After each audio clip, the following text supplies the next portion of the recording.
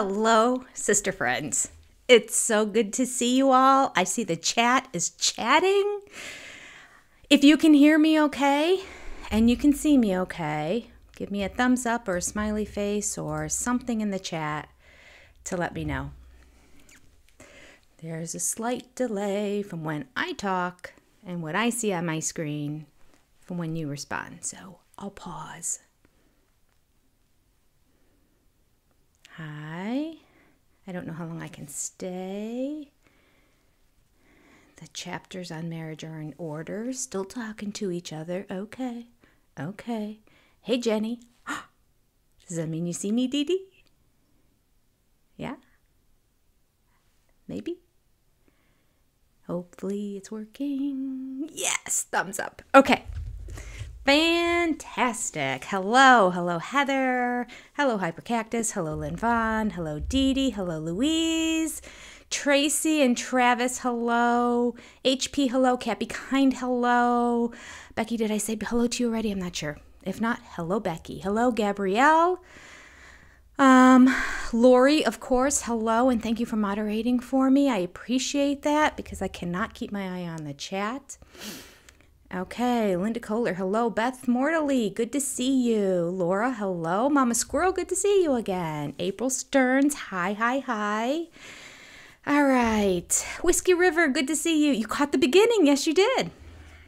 It's got to be early for you in Alaska, huh? That because I think you're a, well, depending on the time change. You don't do time change, right? Is that if, if I remember correctly? I had relatives that lived in Alaska for a while, so I feel like sometimes it's three hours difference and sometimes it's four hour difference from the East Coast, if I recall correctly. What time is it in Alaska? That's what I'm going to ask you, Whiskey River. You let me know. All right. Hi, Ruth Carroll. Good to see you. Lots of people joining in right now. That's so exciting. Today we are doing chapter three, which I'm guessing is going to be Christine because we did Meri and Janelle. So I'm thinking we're going in wife order. All right. Lynn Von, hello, Mace Chill. Good to see you. I'm glad you made it. Let me pull some of my notes for other things out of this book. And before we get started, um, Alyssa, I don't see you here in the chat right now, but let me put this out publicly in case you watch this later, Alyssa1704. Thank you very much for the incredibly generous super thanks that you put in one of my videos. I can't remember which one it was, but um, that was very kind. And bought myself a chair. Told you any super chats or super thanks or anything that comes my way, um, I dedicate to this channel in one way or another. So we got the microphone, we got the mic arm. We now have a chair. I don't know if you guys noticed or not, but the chair I had before, I don't know, we've probably had it for 25, 35 years. I don't know how long we've had it. Um, but it would make this loud crinking sound, and I would like tilt to the left. Every now and then it would tilt to the right, but I think that's because sometimes instead of tilting it back and making a loud noise, I just sit with it tilted left and try to accommodate. And then as I turn, it like tilts back. So it's like this ever tilting chair, which is very funny because when I do my speech therapy classes in it, my kids are always like, Everything okay? I'm like, I'm fine, I'm fine, I'm fine. I always tease them. I'm like, if I ever disappear out of screen, fear not, but if I don't come back within five or 10 minutes, something's gone awry. Contact the head of Ohio Virtual Academy where I do my speech therapy sessions through. All right. Um, all right. Becky, her voice is so soothing. It sounds like being being read a bedtime story. Well, now how sweet is that? Very good. I appreciate that. Um, I will say, somebody else said that I should do ASMR and just read things to go to sleep. It, this could be a compliment, this could not. But sometimes I will go back and try to critique myself, but I watch everything YouTube either while I'm eating a meal or when I'm going to bed at night. So I'll put it on and I, it puts me right to sleep. Which I guess to some people would be an insult, but so I have to go back and rewatch it and go back and rewatch it. Spotlight on Stigma. You're a former special ed teacher. Oh, you love SLPs. Thank you. Thank you very much. I am now just an online SLP. All right, which is um, a real easy gig compared to what it's like to work in the schools. I did many years working in the schools. The caseload's incredible, the workload's incredible, the hours and hours and hours of work you bring home every week unpaid is incredible. So um, I feel very blessed to have a good gig going on right now. All right. All right. Looking forward to sister time. Yes. Very good. Sorry, Godmother. All right. So, Christine and Kody. Um, I will say, very much looking forward to reading about Christine because I like her. Yeah, like her. What can I say? Hi, Joanna Dunwich. I'm glad you're here. Um, and I know a lot of people don't, and I don't. I know that the the high energy that she has can get annoying. I get it. It gets on my nerves sometimes too. It really does. But after all these years, you got to realize she's up there all the time.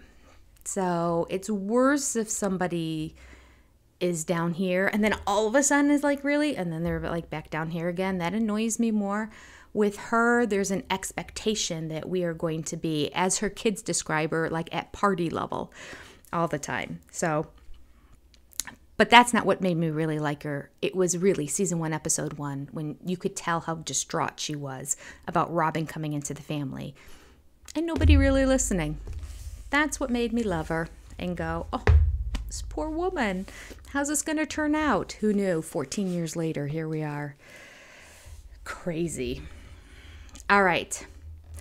You have a feeling it's going to be a sad chapter? Is it really going to be a sad chapter? Is this the chapter with the nachos in the car.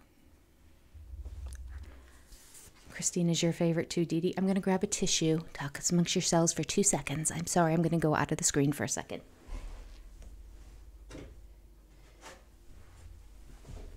Okay. Just allergies. Don't know what kind.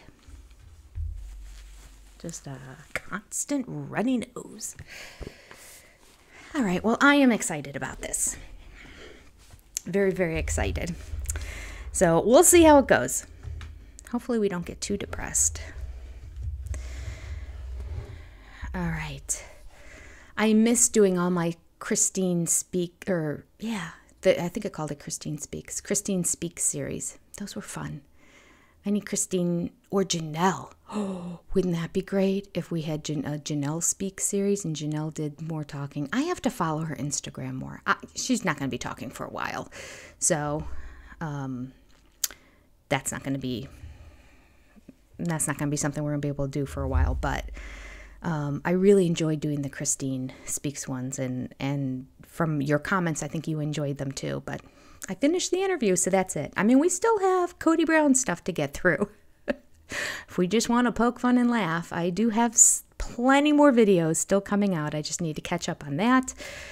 Uh, maybe after Easter, and um, and then again, I I have a maybe I'll put it all together in one. I don't know. I had a couple little things from Mykelti's um, um, Patreon when she because she's going through this series. I did find out that Mykelti has watched season one already completely all the way through, and she's watched season 18, which we knew because I believe that's when she started her Patreon was season 18. So and then she would respond to the episodes. The in between stuff she said is hit and miss. All right. Um, let's see here. Uh, I saw the photos. Mykelti says the family is mad that they're out, but the National Guard posts all funeral photos. So, yeah.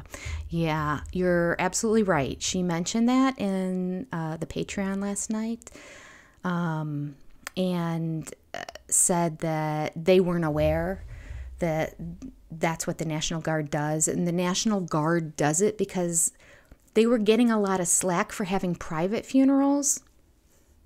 Kind of silly. Um, and I guess it's people thought they were hiding the fact that men were dying, like maybe in the service, like at like serving the country. I, I, that's the only connection I can make because, like, why would people be upset that we're not airing the funerals or sharing information about it. So, anyway, they used to be completely private. This family didn't know that they went public, and um, so they were disappointed. But she said she wasn't really disappointed at the National Guard. She's like, that's their policy. They just didn't know. What she's the most heard about are, from what she heard, she said she didn't look, but there's a, a, a YouTuber who had been posting a lot of the pictures and commenting. And I don't know what the comments are. I didn't watch the videos, but um, was just upset that, you know, they make a whole nother video and in her opinion, create a lot of nonsense and non truths um, to promote the channel. So she was upset about that um, specifically. So um, don't know, don't follow that YouTuber, so I don't know the details about it, but it was clear that Mykelti and the family are not happy with this particular YouTuber. For sure. All right. Um, let's see here. Yay for Sister Time Beth. Hello. Thank you for the super chat. I appreciate you. And the cute little pictures that come along with it. Fifth super chat on a live stream with cute little number five there. Thank you very much. I appreciate it. I said that it was going to go to a pop filter or, or my super chat money where it's going to go to next because I just don't want you guys to think you're randomly sending money for anything. And again, nobody has to send any money, but um, when you do, I use it. And for those of you who are new, I got myself a new chair. I got it through Marketplace. Mm-hmm. I am a thrifty shopper. Although it's brand new, it was in the box. Somebody got it at like one of those bin stores and then changed their mind. So I don't know. They probably made a little bit off of me. But I looked at the chair um, online and I got it for half the price that it's being sold for online. So I am happy so, and I'm very happy that my chair is not going to go wobbling back and forth anymore. My old um, antique chair that I had before. So, thank you all very much. And then I think the next thing I will be saving up for is a shock absorber on this mic so that when I do touch the mic and the uh, arm, because I talk with my hands like crazy, as you all know, um, that it um, it's it's not so annoying that it'll save it from making the really loud noise. It used to be much worse with the other arm I had. It's it's definitely way better now, but I can make it even better, so I will.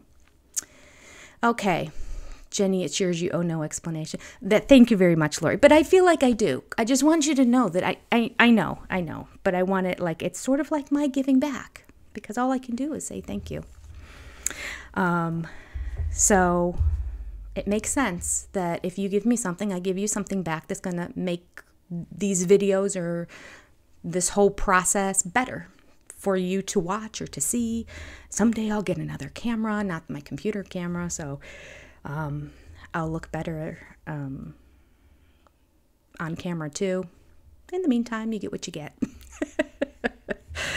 this is what it looks like. No filter.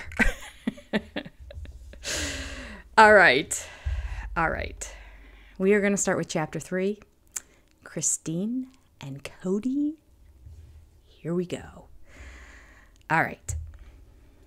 Christine says, I was raised in a polygamous family just outside of Salt Lake.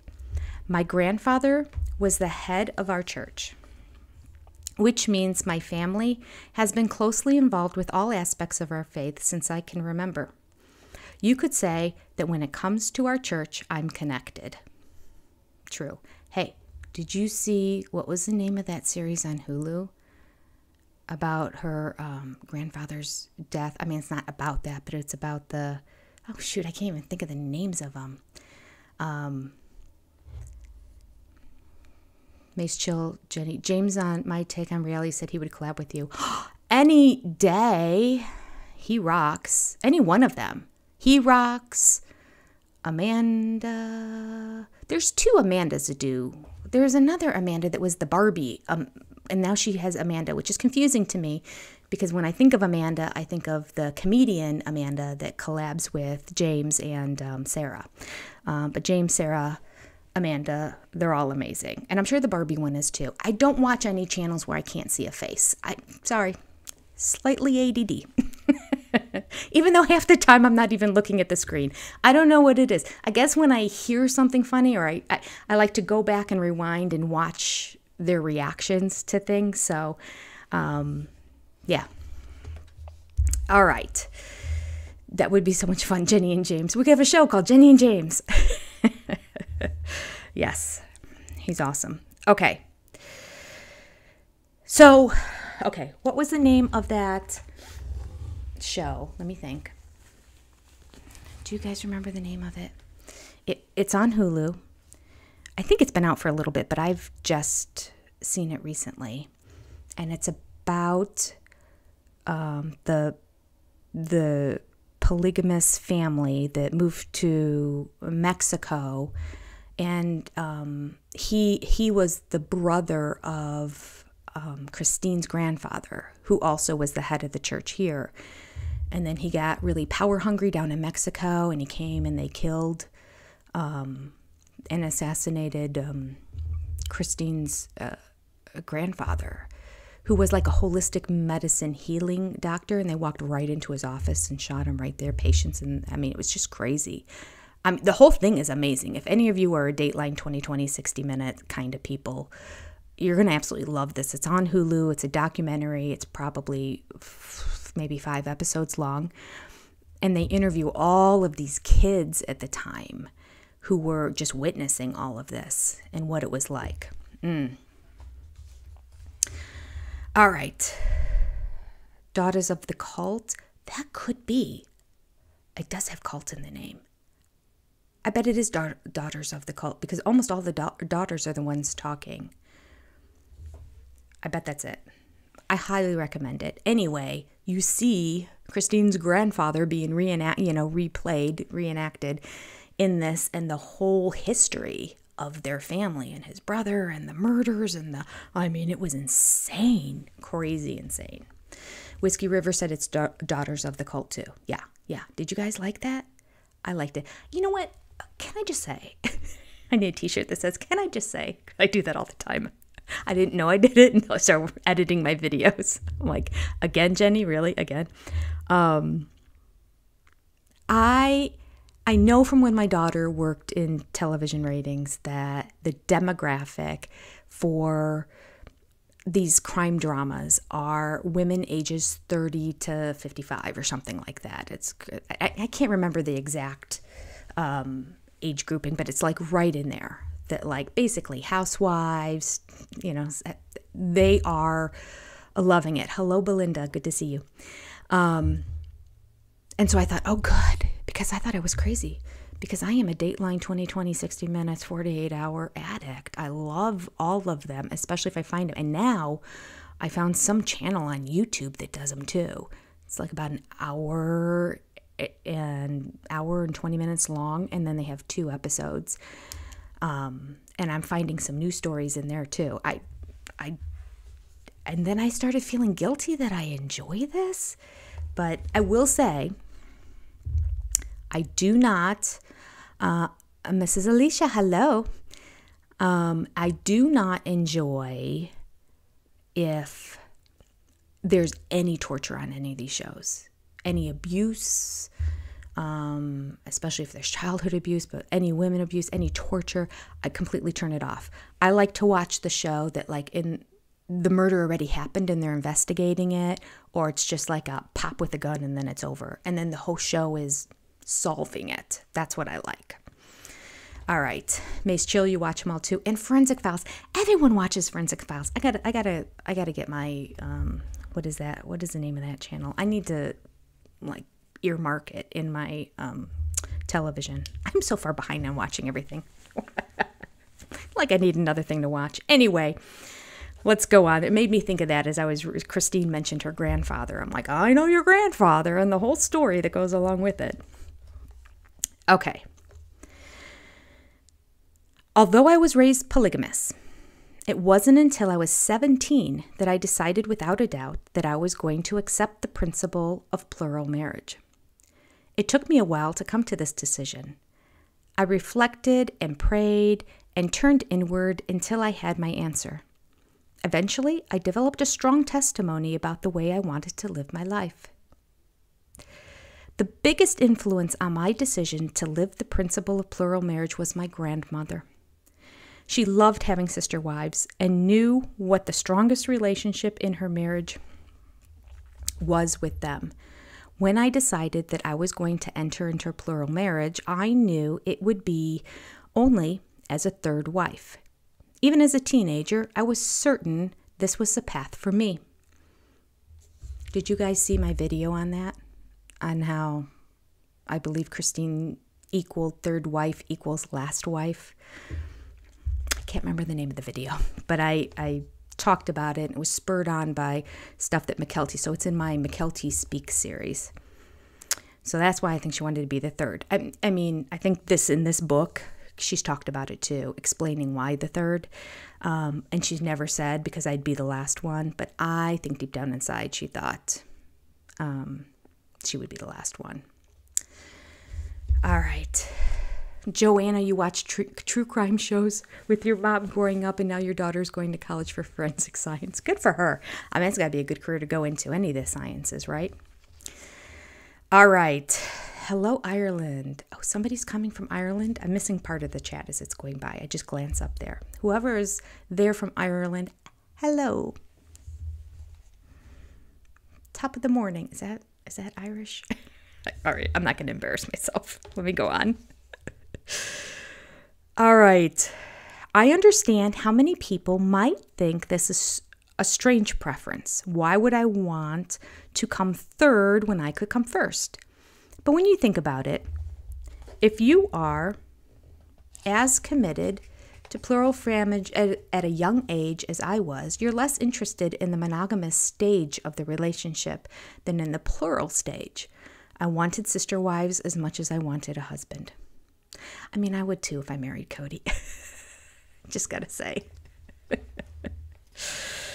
ah, Joanna Christine was so naive, bless her heart. I know, if she only knew where it was gonna go. All right. Oh, Mama Squirrel, good point. Christine would have been the last wife if Kody would not have had a midlife crisis. Excuse me as I blow my nose. Okay. Christine goes on to say, It is a common misconception, at least in my worldview. Sorry, I just want to make sure it was recording. That it's best to enter a family as first wife. People often think, incorrectly, that the first wife has the highest status and the most security. I never saw it this way. In fact, in my opinion, being the first wife takes too much work and involves too much self sacrifice. You have to give up your, ent- your life entirely and be joined at the hip to your husband. It's just you and your husband until the day he marries a second wife. Yeah, that's a good thing, no? this kind of single minded devotion never appealed to me. I'm independent and I like my freedom. Just recently heard her make a comment about that and say that she believed that she would have a lot more independence as a plural wife because she was on her own a lot. But she didn't realize until she got married to um to um I have not been drinking today. I had such a long day. I got up so early and I didn't sleep well last night. Okay. Um anyway, her current husband um she realized after she married him, she actually has a lot more independence now than she ever did when she lived in polygamy, which I believe, which makes sense. You find the right guy. All right, Jenny, Thursday at 7:30 Benadryl. I know. Sure seems like it, doesn't it? And I am not drinking alcohol because I knew how tired I was today and I didn't want to fall asleep in front of y'all. All right test. Your chat is missing, Mary. Hit a refresh. That seems to work for people. Okay. While we're talking about chat for a minute, when I said the chat two weeks ago didn't post, I didn't realize I learned something every week with YouTube and OBS and streaming and everything. We're going to get this down by six months from now. I learned something new every week. What I learned was the chat was there but it doesn't show up for 24 hours. So it gets posted right away. Um, I might afterwards actually just put it on private so it doesn't post right away to give it a chance for the chat to. I'm thinking they probably have a filter that goes through to make sure nothing horrible is in the chat. That's my guess.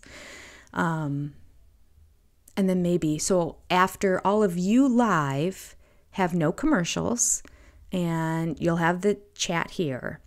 And then when it gets posted, I'll think I'll move it to private right away. And then 24 hours later, so in the evening on Fridays, I'll post it when I see the chat is connected to it.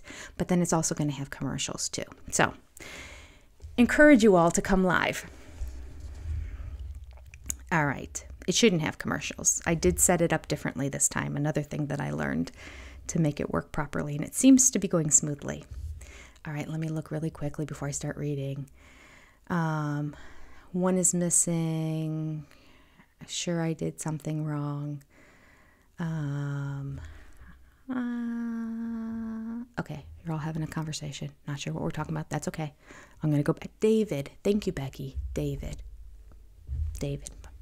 My son's middle name. I should remember David. Okay.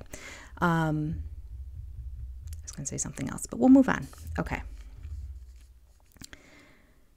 Um, being the second wife didn't sound like a better option either. In fact, I think that would have been worse than being the first wife.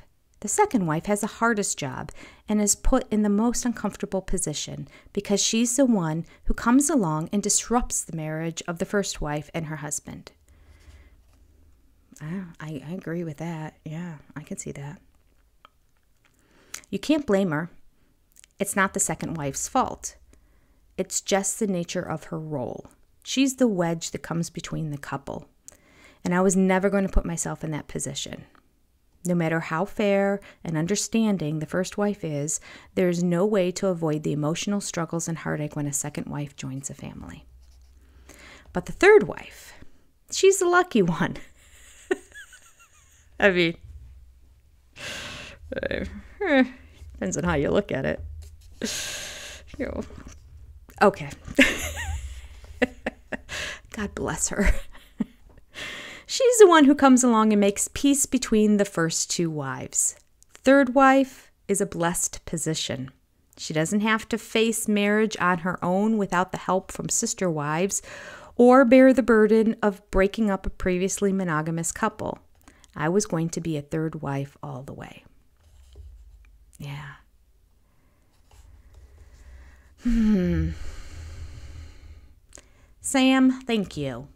I'm learning and growing. Isn't that the truth? You're never too old. Never too old to teach a dog new tricks. Still learning. Every single week, I am learning. This is going to be awesome come September when it starts again. Oh, let me spill some tea. This is a video I was going to put out for you guys. Now, Mykelti made a comment, and I said this on a live chat, maybe the first live chat, maybe the second live chat, I don't know, but a long time ago, like maybe a month ago, right at the beginning of live chats, um, there was a comment by Mykelti who just in passing said something about I don't remember the whole details of it, but she just basically said there's two launches of Sister Wives, one in the spring and one in the fall. And I thought, oh, that's interesting. I don't remember that, but I honestly never paid attention. My DVR is set to record anytime Sister Wives is on. So I don't normally know. I mean, now I know exactly when it's on because I take notes and try as quickly as I can to get a reaction video out. But before, didn't matter to me because until about this season, I wasn't even watching response videos on YouTube or anything. I was, it was just, it was another one of the shows that was a must see, can't miss, love Sister Wives.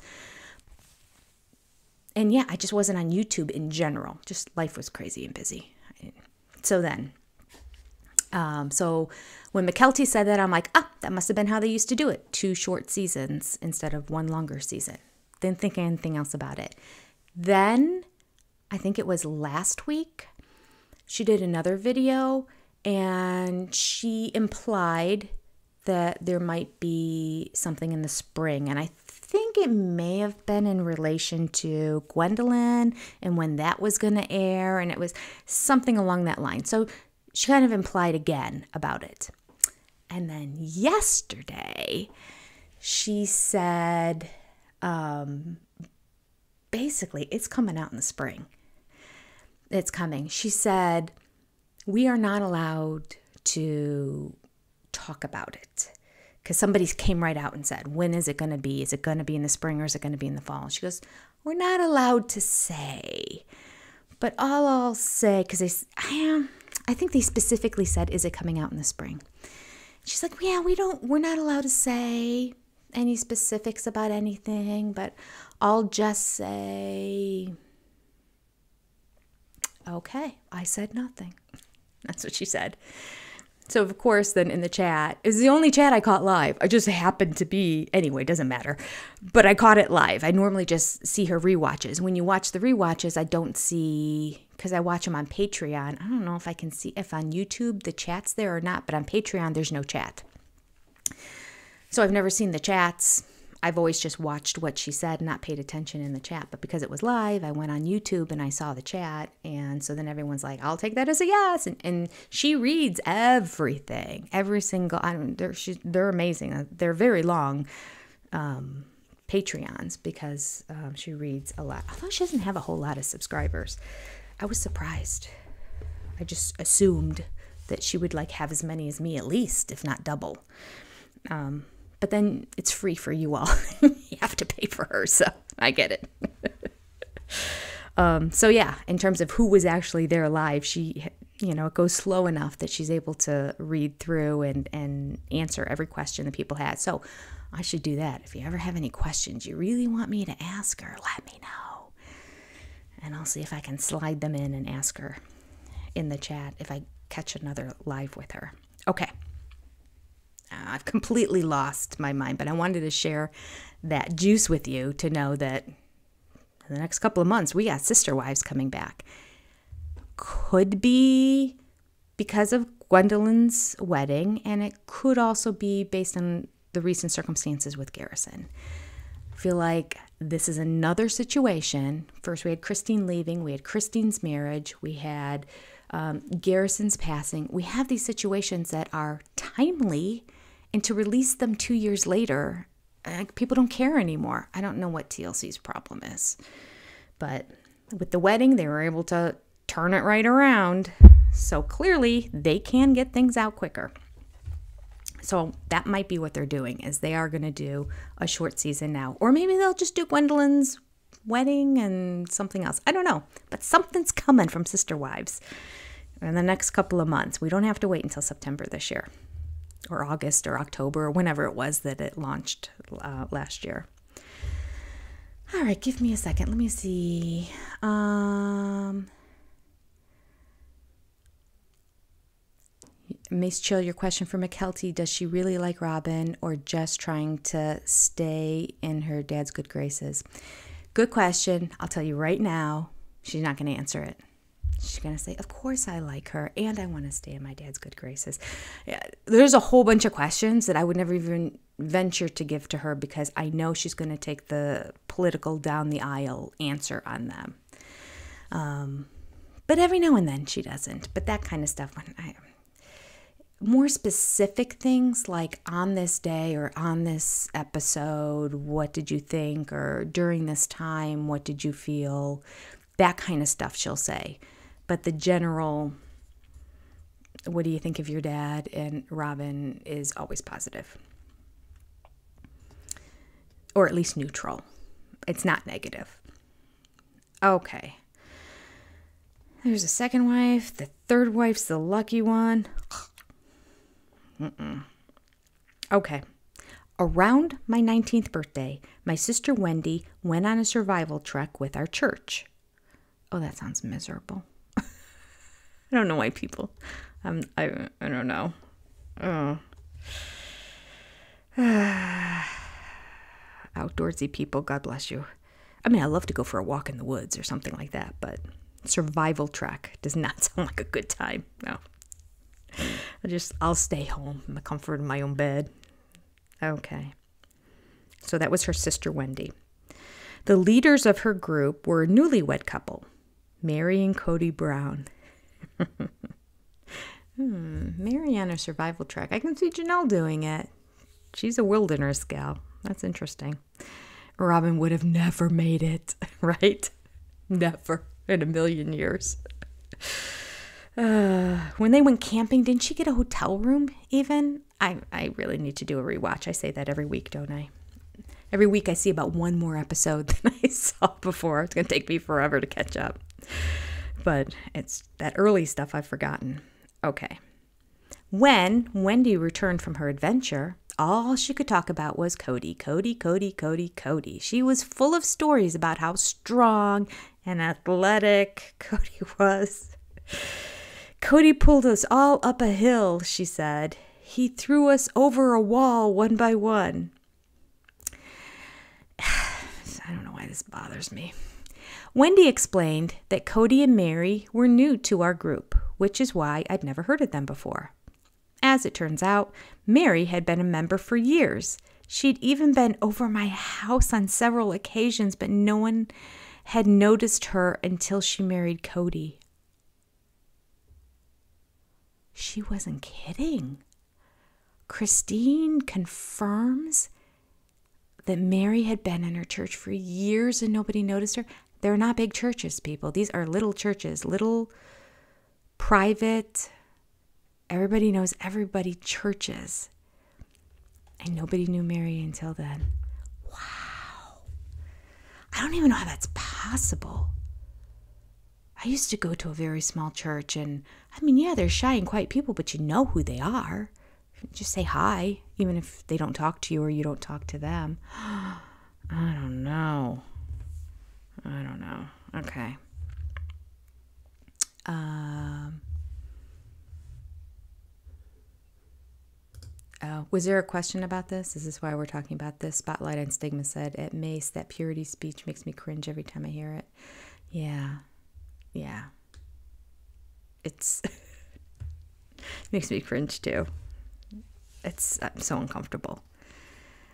And the worst part about that was poor Dayton, who's sitting there watching as she's talking about how horrible and she threw it away and all this stuff. And the result was Dayton.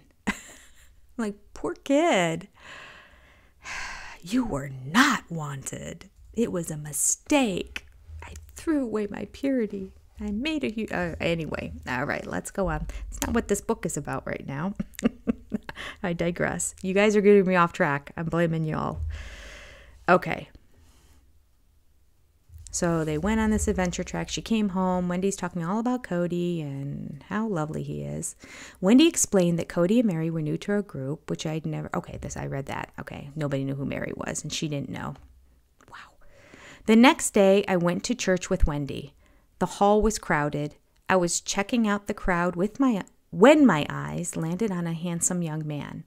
Without my sister telling me, I knew he was Kody. I thought, wow, Wendy forgot to mention how cute Kody is. He he's really really cute. Okay, I'm not going to argue with that. I mean, it gives me cringes right now because he's so skizzy, scuzzy, scoozy, creepy, creepy ugh, right now everything about him from his looks to his personality to his speech everything is is yuck but in photographs without seeing the personality and all that i think when he was young in his late teens and early 20s he was a good looking guy short cut hair almost military kind of buzz cut up the side now i don't know what he's trying to do he tried to like channel his inner surfer dude, and it's gone awry. Uh, for decades, it's gone awry. Okay. All right. Um, let's see here. Okay. Let me continue. The next day, oh, she said she went to church. Okay. Kody is now going to talk. Okay. Are you trying to tell us you don't like Kody much? it doesn't show. I'm really trying to keep it in. Try to keep my bias to myself. Ick. Okay. I have to admit, I don't remember seeing Christine in church that morning. I had been in the church for only six months, so the group was fairly new to me. There were different faces at church each week, which made it difficult for me to remember everyone I met. Well, how can that be? There can't be that many people that are in this little AUB. We want to be part of polygamous church. I don't know. That's just his excuse for not being able to remember people, I think. A week after I returned from the survival trek, our church held a dance. Of course, a dance. we never bowl. We never go tobogganing. We never go for walks in the park. No, we just have dances. All right. Sorry, I digress. Of course, I attended with my new wife, Meri. Although I'd met Janelle once or twice, we were only casual acquaintances at this point. But there was one girl who caught my eye Christine. She was wearing a turquoise dress with a lace ruffle at the collar. She was bubbly and sweet, and as cute as anyone I had ever seen before. Oh, it's unbelievable. These are his words. She was also overflowing with positivity. Well, that's true. That's Christine. Her liveliness and good cheer were infectious. I get that too. I think that if you hung out with Christine for a day that there wouldn't be a whole lot of downer conversation. It would be pretty up. However, I was still a newlywed and new to the polygamous faith. Although I thought Christine was really cute, I wasn't yet ready to consider a second wife. So he thought she was really cute, but he wasn't attracted to her. How can you think somebody's cute but not be attracted? Isn't that what attraction is? Like, because everything is superficial in his world, isn't it? Remember he said he was never attracted to her. Okay, just saying. I don't know this, but Christine had a crush on another boy. Oh, I didn't. I'm sorry. Hold on, let me take a drink. Here we go. I didn't know this, but Christine had a crush on another boy that night. She was just 19 and she was a romantic, but there was an undeniable spark between us. When I looked at her, I had a feeling, call it a sixth sense, that our destinies were interlaced. I just, I don't know, the lies. Oh, the lies. Yeah, yeah, Mace chill. He's lying. He likes her. He wanted her. I think so too. Mm-hmm. All right let's see, Becky. Janelle was his sister in law, but he didn't know her. Oh, that's a good point.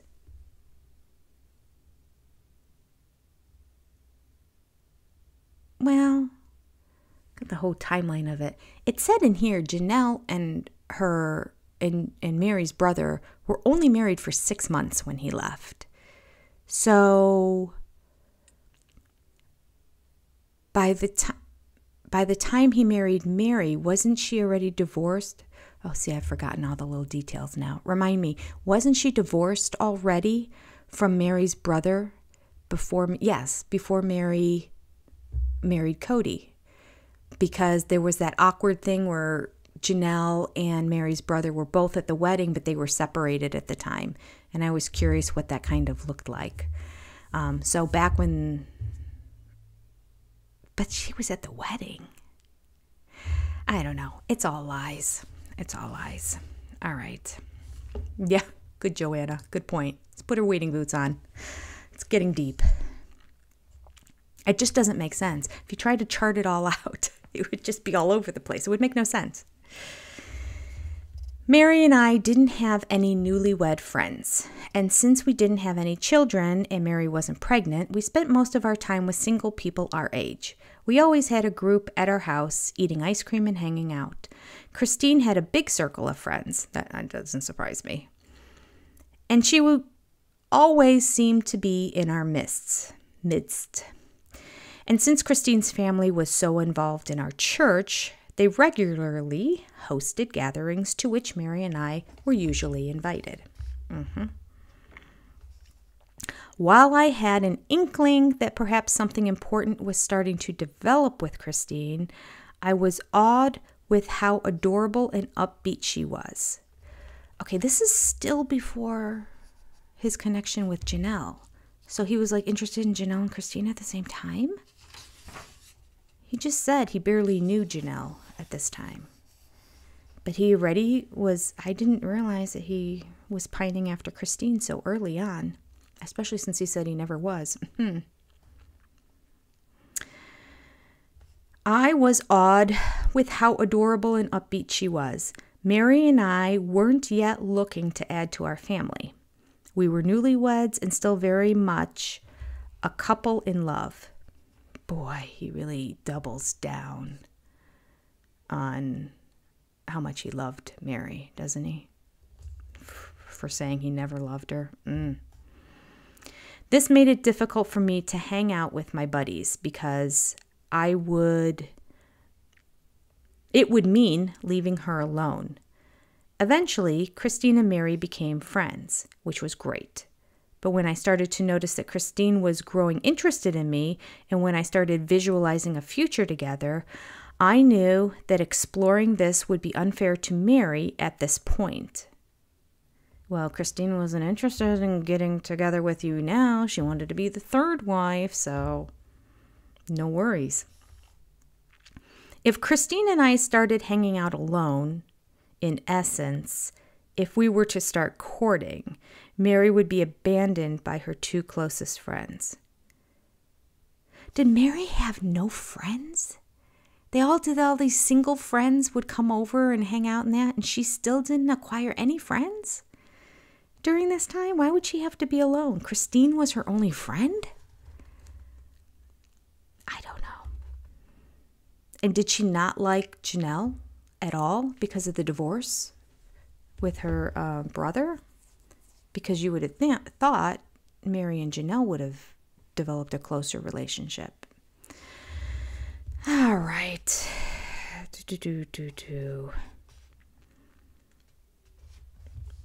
All right. I just glance up and I see a comment and then click it. I don't believe one word in their freaking book. Yeah, we're reading it anyway. Shits and giggles. But it's hard. Yeah, it's hard to wade through this and know what's true and what's not.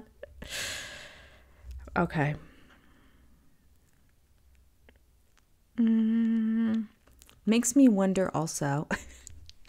squirrel. Makes me wonder also about that book that the catfisher wrote about Meri.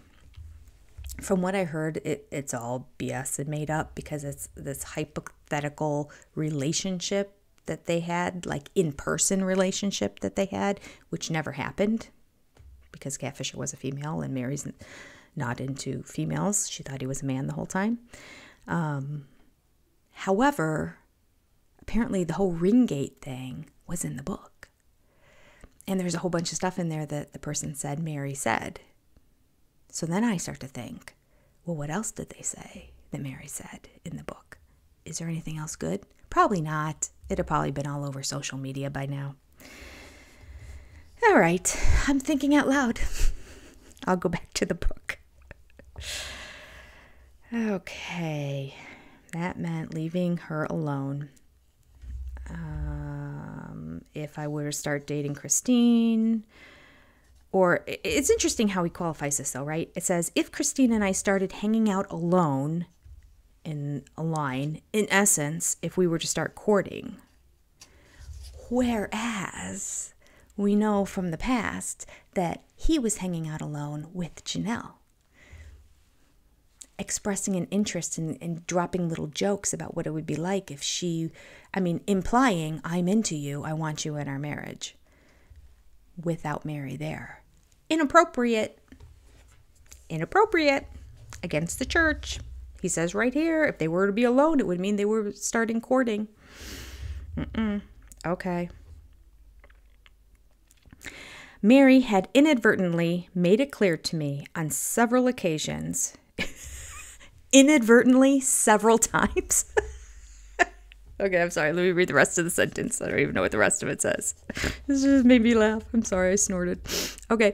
Meri had inadvertently made it clear to me on several occasions that she wasn't prepared to court Christine. I didn't know that. Did you know that? You probably knew that. I think all of you have read this book. Not all of you. Some of you said you haven't read the book. Many of you have. That's a big line right there. On several occasions, she inadvertently, it makes no sense, let him know that she was not prepared to court Christine. Okay. Doesn't matter. Christine would have said no anyway, so it is what it is. All right. Okay. Sorry, that made me laugh out loud. All right. I glance up and I only see like the last two comments because it's scrolling up in the thing. But Joanna, this made me laugh. Kody uses big words so he can sound more photosynthesis. it's, it's priceless right there. It's so true. okay, good joke. Love it. Okay. One weekend, at a field day for the younger members of our faith, I was busy being my loud, boisterous self. I was running all over the field that we were gathered at, hosting people, hosing, sorry, hosing, I wasn't expecting that word, hosing people down with water. How fun. Like, did they want to be hosed down with water? Loud, boisterous. Is that his way of saying obnoxious? Is that translation, maybe? Hmm. Everybody was chasing me in order to pay me back, but they couldn't catch me. In the middle of all this, I heard Christine cry out, Kody, my masculine man. I looked over at Meri and I could almost hear her growling. This is priceless, this chapter. I did not know any of this was in here. Made Meri mad. Okay. Meri, who wants to be in a polygamous relationship. Meri, who grew up in polygamy. Made her growl. Okay. I hadn't seen many examples of plural marriage since I was new to the faith, so this was the first time I experienced it close up. But I couldn't blame her. We were very young. I don't think that has anything to do with it. If my husband started hosing down girls on a field and they started calling him their handsome man, I'd feel uncomfortable. Wouldn't like it. I mean, you can't blame Meri, except that Meri kept saying she wanted a polygamous relationship. I don't think she ever did. She loved Kody, and he loved her. That should have been the end of it right there. I mean, we wouldn't have this great series. We wouldn't have all these other great wives. And I mean, there's a lot of good that came out of it. Fantastic children. All right. But they really should have stopped right there. Okay. Um, despite our initial resistance, something was pulling us together. I couldn't deny that Christine would be part of my family someday. But we all needed to grow up first. Okay. Christine's section. All right. I loved Kody and Meri. And although my crush on Kody was getting serious, I wasn't interested in marriage yet. Still, I was always eager to hang out with them. Whenever my parents hosted a volleyball party, Meri and Kody always topped the guest list. After spirituality and faith, the trait my dad values most, most is athleticism, so he was taken with Kody from the start. Whenever I talked to my dad about boys I was interested in, he always steered the conversation in the same direction. And how is Kody? he'd ask. Hmm. Co- that makes me a little bit sad because he was really steering the, you know, she loved her dad. Okay. Kody made a big splash when he joined our faith. He was nice looking, which impressed a lot of women, but he was also well spoken and outspoken. Okay, well spoken, I cannot agree with at all, but outspoken, gotcha. He was confident. That's what it is. You think he's well spoken. He's just confident in what he says. If you really listen to the words, it's a bunch of BS. But confident, I'll give him. He was confident when he talked in front of a crowd. He knew how to take a spiritual concept and deliver it in a positive and inspiring way. He made a good impression on the people in charge of our church and was often called upon to speak at fireside meetings. About a year after I first met Kody and Meri, Kody organized a youth trip up to his parents' ranch in Wyoming. Kody wanted to expose his younger peers to his parents' lifestyle and introduce his parents to young people in their new faith. By this time, it was pretty clear that I had developed a serious crush on Kody. I was always hanging around Meri and him. So when we all piled in our caravan of cars to drive to my Wyoming, I got someone to drive my car and I made sure I rode in Kody's. Well, that had to have been obvious. How many people let somebody else drive their own car and then they ride in a different car? Uh huh, okay. 19 people headed up to the ranch for the weekend. We set off from my house in Utah, but when we hit the mountain pass, we drove into a massive snowstorm. It was unbelievably slow going, and we had to stop and take turns pushing one another's cars. Oh, how miserable. Did they not look at the forecast? Why would you put yourself in that situation? Mother Jenny comes out. The drive should have taken half a day, but we wound up being on the road overnight because of the weather. Since we were all young, it was still fun being out there together. It felt like an adventure. Okay. Might take a drink.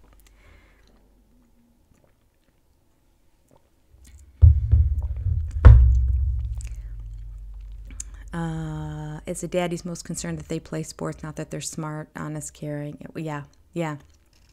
Yeah, it was just the spiritual what? a spiritual leader, a something else, and then athletic. Uh, oh, the abs we swoon. the confidence of a true ignorant fool, right, Joanna? Uh, the six pack abs won them over, indeed. It's a good point, Mama Squirrel. Other people make friends. Kody marries every woman who ever paid attention to him. So true. So true. Okay, forecast. What's that? Yeah, like plan ahead.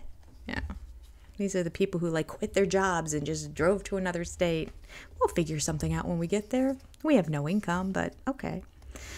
Kody's part now. We drove all night to Wyoming. It was dangerous. Meri and I rode in the front seat, and Christine sat in the back. I kept looking at Christine in the rearview mirror. For months, I'd been watching her. I loved her spark, her bubbliness. How do you think Meri took the fact that she knew there was something flirty going on between Christine and Kody? She didn't like it. She snarled and growled about it. And yet, on this trip, Somehow, Christine got someone to drive her car and she's in the back seat with Meri and Kody. I bet she was icy cold. Christine probably got to be as bubbly as she wanted because I bet Meri just shut down and didn't say anything. All right, he writes, She was so full of life and enthusiasm, just the perfect person to have along on a miserable drive. next to Meri because Meri's miserable because she doesn't want Christine in the car. Okay, yeah, there's the weather too. But in fact, I was discovering that Christine was the kind of person I wanted to have around all the time. She lit up every room and brought a fun, positive energy to any event. Meri often stood on the sidelines during games and group activities, but Christine was always willing to participate in anything, no matter how silly. When we set out on our road trip, I was convinced that Christine was the cutest girl in the world. Although she was a little chubby. Oh, there it is. I knew the chubby word was in this book. I was convinced. Who the F cares? Honest to goodness. The superficiality of men in polygamy shock me. It's that same thing if you're watching Seeking Sister Wives, and if you're not watching Seeking Sister Wives, let me tell you, you are missing out big time. I, oh my goodness. It's incredible. At least go to Reality TV Breakdown and watch my reviews. You won't get through more, a couple of them before, oh, the last one I did, mind blowing. I have another review that I have to do. Is it on that show? Oh no, I think it's Vanderpump Rules. All right. Um. Oh, it's so good. It's so good. It's gonna make Sister Wives seem tame. There you go. Mm-hmm. That's something to get us through until Sister Wives begins again. All right. So, Christine was the cutest girl in the world, although she was a little chubby. Who cares? Back then, I was young and superficial enough to care about physical appearances. After we'd been, uh, what about the diesel jeans model comment you just made 14 years later? Back then you were superficial? Mm-mm. Still are. After we'd been on the road all night, we stopped at a gas station. I'd been drinking soda pop to stay awake, and my stomach felt sour and upset. Just thinking about food made me queasy. This is the the nacho scene right here. She was in the back seat with Kody and Meri. I did not know that. For the longest time, I thought this was a honeymoon because that's the only time they do road trips, right? it's a honeymoon. I mean, when he actually takes the wives with him. Okay, this is all new to me. I'm sorry. I'm, I'm learning it as I'm going. Christine went into the Quickie Mart and bought herself what seemed like the largest portion of chili cheese nachos that I had ever seen. Oh, that sounds amazing. Kody would not like me either. Mm-mm. The sight of those nachos turned my stomach. I couldn't watch her eat them. She must have been starving because she was eating so quickly that there was chili sauce and nacho cheese everywhere. That was so unnecessary, that line. There was no point to put that. Why did he have to say that? She must have been starving because she looked like a pig. Food all over her face. That. Rude. Rude. Don't like it. Looking back, I hate myself for the thoughts I had at that moment. But the sight of this chubby girl in my car devouring chili cheese nachos for breakfast put the brakes on our relationship.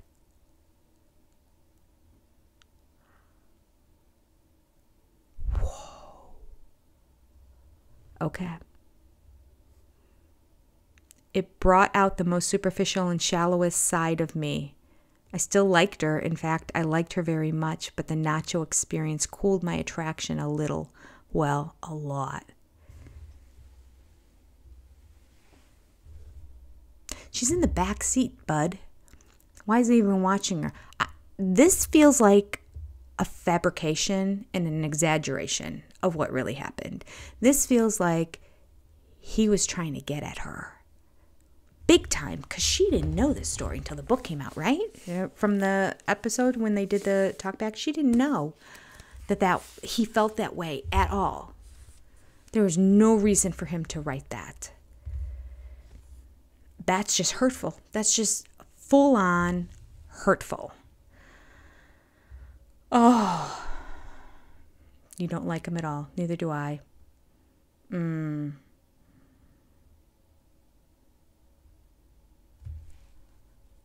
He was so cruel to Christine. Yeah, that yeah, Sam. Isn't that the truth? To put that in print for everybody to read and for her to not have read that until she read the book. It's downright vicious and cruel. And we know this book was written after Robyn came around. So yeah, he didn't care anymore. Oh. Mm. Oh, Mace, you think Robyn had something to do with it? Oh. Bum, bum, bum.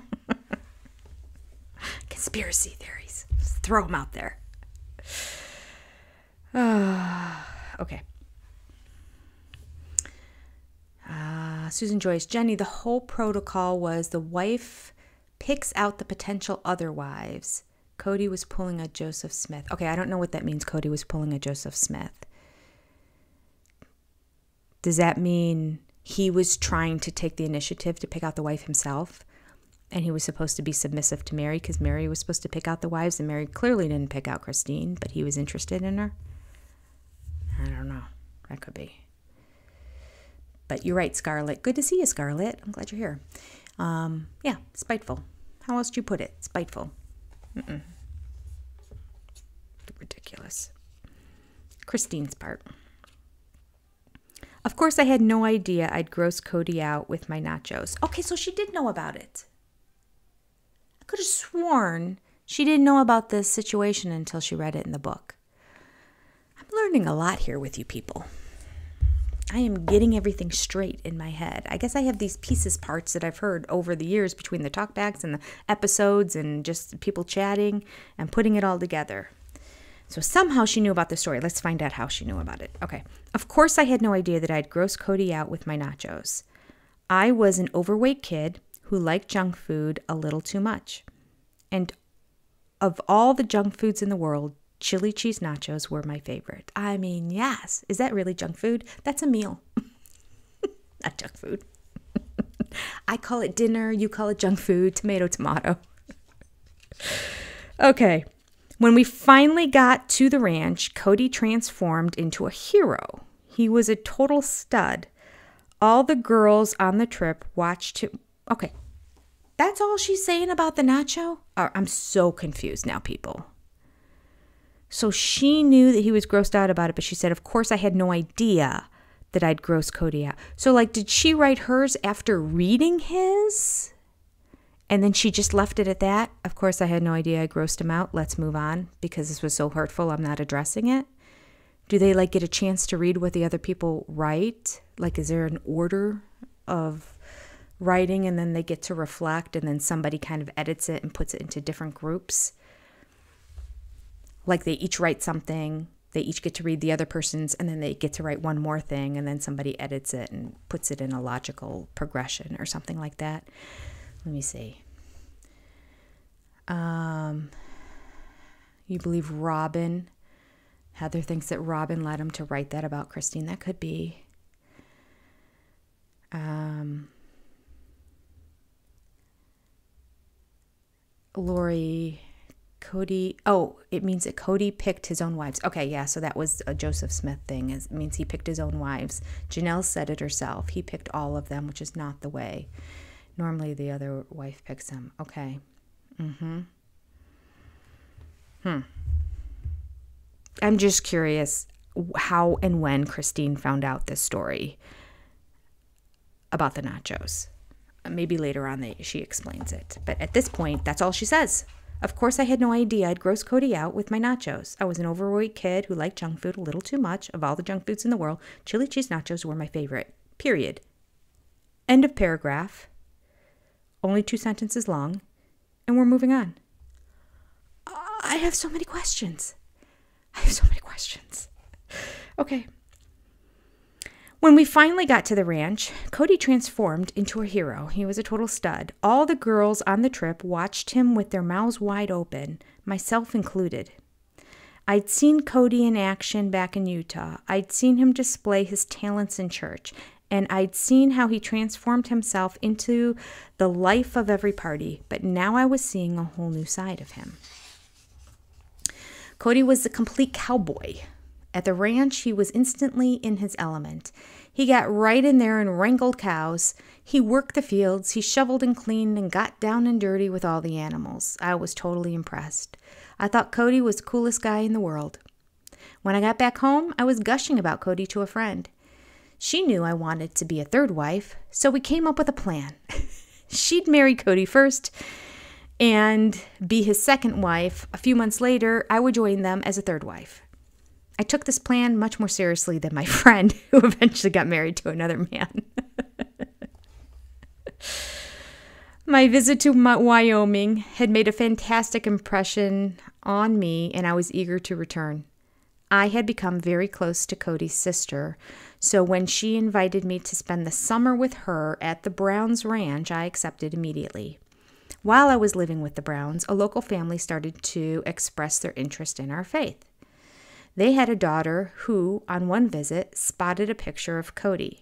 The minute I saw her look at it, I knew she'd be interested in him.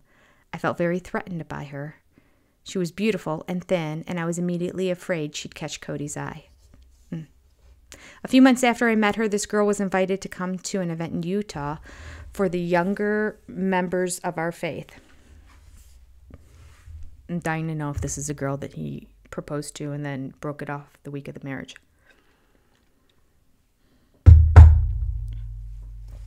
All right. Since I was going down, it fell to me to drive her and to introduce her to some of my friends. Not doing so would have appeared selfish. I drove the new girl, apparently begrudgingly, and her brothers to Utah. The whole ride down, I kept saying to myself, What are you doing, you idiot? I was completely threatened by her. When I got to the youth event, I immediately realized that all my fears were well founded. Right away, Kody and Meri took particular notice of her. Their interest was overwhelming and undeniable. My goodness, I did not know this story. Okay.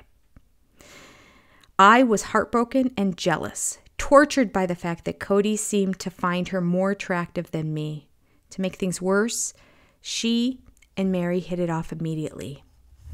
They became inseparable, instantaneous best friends. One morning after, I mean, we saw how that worked out with Robyn, though, right? Know. One morning after I returned from the ranch, Kody and Meri came to pick me up. We made plans to spend the day together in the city. Before we left, we lingered on the porch of my parents' house. Kody and Meri had strange looks on their faces. They seemed excited, but a little nervous. Then they told me that they were courting the girl I introduced them to at the youth conference. I was devastated. It ruined my day. In fact, it ruined my year. Wow. Okay. I decided then and there that I was not going to marry Kody, no matter what happened. It wasn't because of Kody, it was because of the girl he and Meri were courting. She was too young and too cute, and I just couldn't see her in my future. I broke off the friendship. I couldn't be around Kody and Meri while they were courting someone else. Wow, she was serious. She couldn't even be, I mean, I guess it. She was kind of in love with Kody. But still, that's intense. You think she did it like like a brat? Or did she just say, I just don't want to be around you anymore because I'm not fond of that girl? I wonder.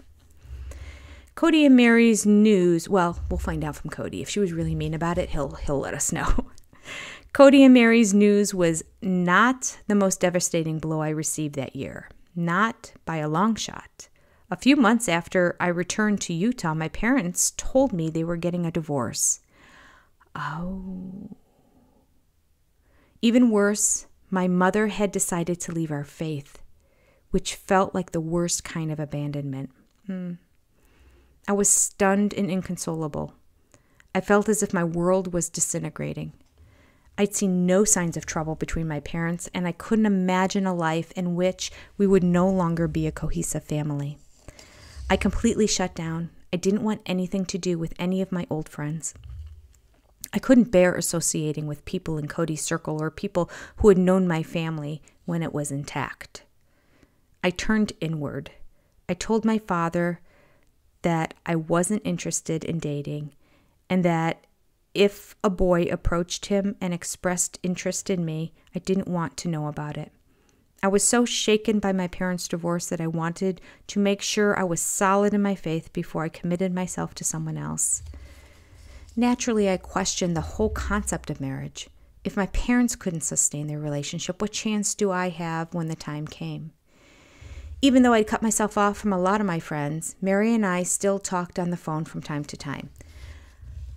Okay, okay. So it sounds like Christine, it wasn't like a direct impact on. Uh, um, okay. It wasn't my chat just froze there for a second. Like, I saw that before. Oh, yeah, there's even a super chat in here. I didn't see. I'm so sorry. My thing just froze for some reason. I'm like, I saw that comment a while ago. Is there nobody left here? Am I talking to myself? There nobody in chat? Dee Dee, thank you for the super chat. It's your first super chat on a live stream. That's awesome. I appreciate it and I'm honored. Thank you very much, Dee Dee. Appreciate you. Okay. Oh, and Lori thanked you too. How sweet of you, Lori. Okay. Um, remember this past season when Christine talked about her happy childhood and the divorce was shocking to her? Yeah. Mm. Mm-hmm. So it looks like she cut off everybody and everything. Like she just really struggled with the whole thing. And, but for some reason, her and Meri were still close. It did not seem like Meri liked her at all. Meri still talked to her on the phone from time to time. I wonder who initiated those phone calls, don't you? I don't think Christine would have reached out to Meri, so maybe Meri reached out to her. Do you think Kody made Meri reach out to her? Because he's still kind of in the back of his mind, was interested in having her be part of their um, marriage because of the royalty that she was. Okay. HP, I'm glad you're still here. I'm glad I'm not all alone. the chat's moving again. So I just had to click on it. I don't know why it, it froze on my screen. Okay. Um, okay. Meri Stone and I talk from time to time. I resisted these phone calls hmm, because I didn't want to hear about the courtship. It had been prolonged because Kody and Meri wanted to wait for the girl they were courting to turn 18 before making their engagement official. Wow. He was dating, he was courting a girl who was 17. Even though I wanted nothing to do with it, I heard when they got engaged and I knew when they set the date for the wedding. Okay. A week before the wedding, I received a phone call.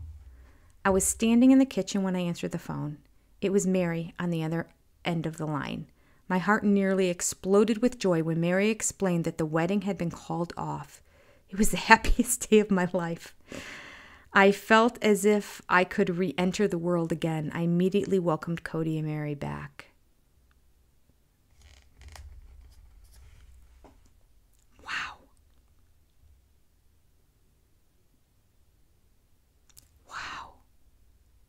So you think Meri called her just to tell her the wedding's off? We're not going to get married anymore, so we can be friends again? Do you think Kody made her make the call again? I don't know. I just can't see Meri initiating all of this unless she really just didn't have any other friends. All right. Christine goes on, but my happiness was short lived. One day, completely out of the blue, Kody called me up. Christine, he said, Janelle is driving me crazy. I can't stand it. She really frustrates me.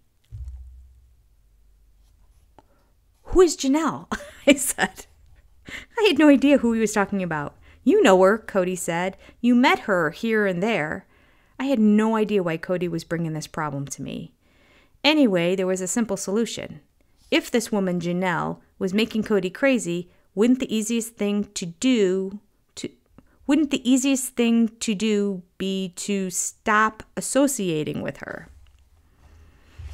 It's an interesting sentence. How wrong I was. The next thing I knew, he and Meri had married Janelle. My gosh. Why was Janelle driving him crazy? Was she telling him to be financially and uh, fiscally responsible? what what can Janelle do to drive anybody crazy? She's such a people pleaser, and she's got such a meek and mild disposition. I don't understand.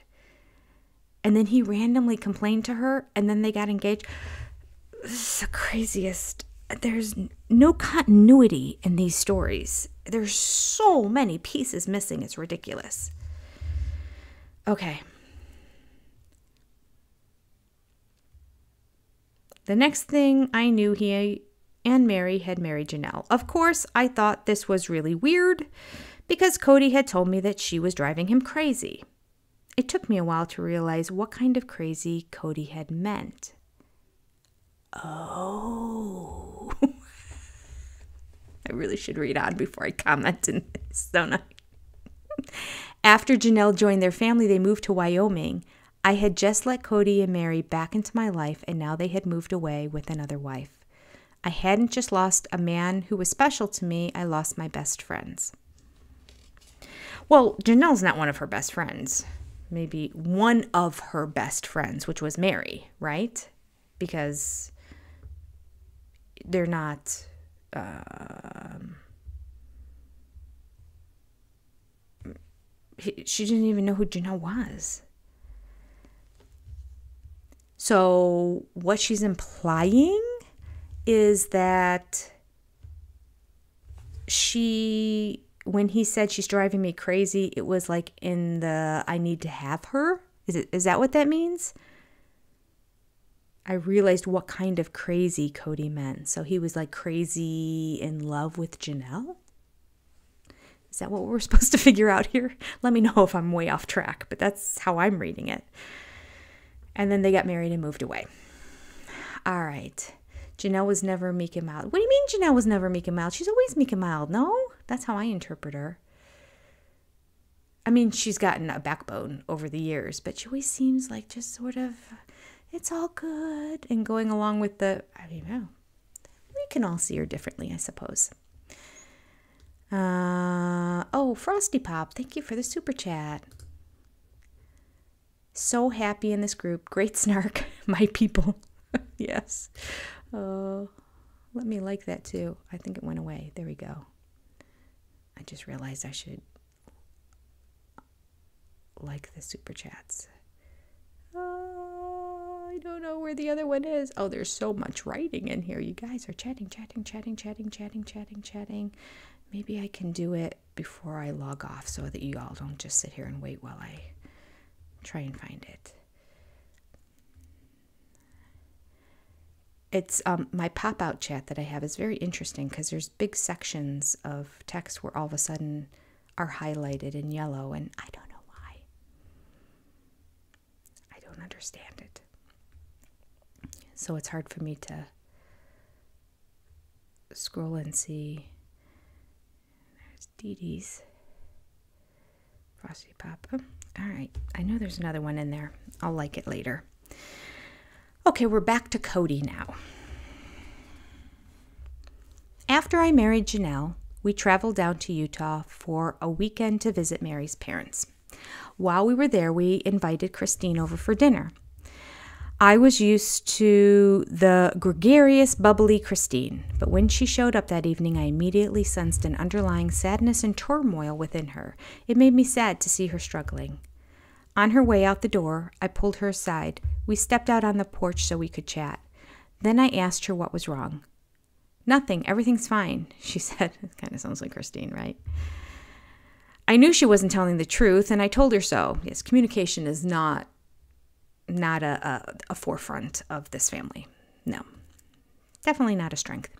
I insisted that she tell me what was going on. She was my friend, I loved her, and I needed to know what was breaking her heart. It's my parents' divorce, she said. The admission opened up the floodgates, and suddenly Christine felt that she could be open and honest with me once more. I felt the old spark that had always been between us ignite again. I know you, Christine, I said. This ordeal may help you in the future. It will make you stronger and more self aware. And one day, you're going to marry a man who's going to appreciate that you've been through something like this and that you survived it. I didn't tell her at the time, but I had a feeling that man she would marry was going to be me. Um, can we just pause for a second and talk about her dad? Now, I know the grandfather was the whole head of the church, and then he was assassinated, and I think his brother, one of his brothers, took over. So I think I misspoke on a bunch of my videos. I think I said that her dad was for a period of time also a leader in their church, but there's no mention of that here, at least not now. So, do any of you know? Was her father actually a leader as well? I think I shared that information in a video. Not that the video was about that at all, but I'm, I'm pretty sure I said that at one point, and I don't know if I misspoke because there's no talk about her father. It seems like that would be a significant thing for her to mention in terms of the divorce that, like, here's my dad is a leader in the church. Like, I felt like I heard, now tell me if I'm crazy, and I could be crazy. I thought I heard that her father was a leader in the church and he actually stepped down shortly before the divorce because that wasn't like in line with the doctrine of the church. Hmm. I'll try to glance up every now and then and look. I know my chat is behind me talking live. Okay.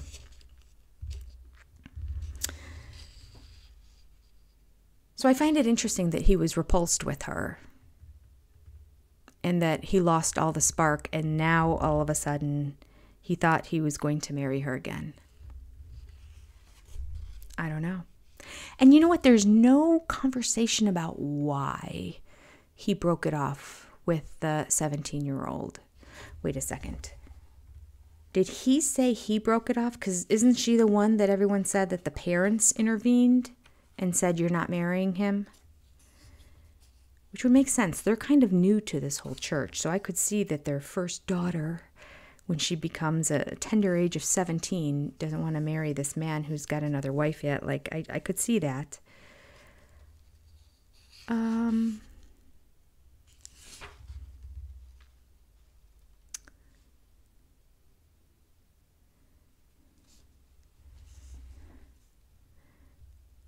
Mm.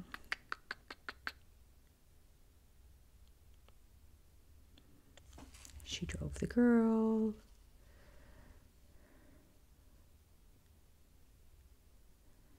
They were courting the girl. Then there's a divorce. She cut herself off from her friends. A week before the wedding, I received a phone call. I was standing in the kitchen when I answered the phone. It was Meri on the other end of the line. My heart nearly exploded with joy when Meri explained that the wedding had been called off. That's it. The wedding had been called off. So the book doesn't say it all. How do we know? Is this like a Reddit thread where somebody knew the family and so they shared? How do how do we know that it was the the family of the daughter or the young girl who ca- called it off? I guess if they would have called it off, they, they would have just said that in the book.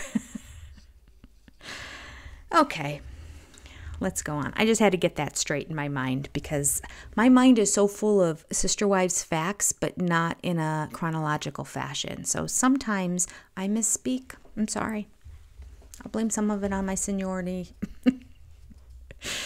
I'll just like, every time I screw up, I'll just go, senior brain, forgive me. Says it right in my description senior perspective. Can't expect it to make sense. I'm a Kody. Okay, Kody's turn. Um, didn't he blame Christine for running that woman away? Yes, Scarlett. I think that's the reference. No, no. He was referencing in like season 18 when in the talking head when he was really upset, he was talking about somebody oh, yeah, that would be her between Meri and Janelle. Yeah. Okay. And said it was Christine's fault because she didn't, she wouldn't join the family if he married her. So he had to have loved Christine so much that he broke it off with this girl. Okay. Or the girl just broke it off and he blames Christine for having the girl run away. I don't know. There's a whole book in that whole conversation.